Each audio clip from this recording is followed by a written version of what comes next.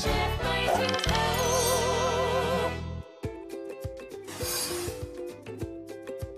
สนับสนุนโดยขนอมช่วงเคล็ดลับความอร่อย วันนี้เชฟมีเคล็ดลับดีๆ ของการทำแกงเลียงให้อร่อยมาฝากนะครับ ก็คืออยู่ที่การทำผักให้สวยและก็สุกพอดีครับ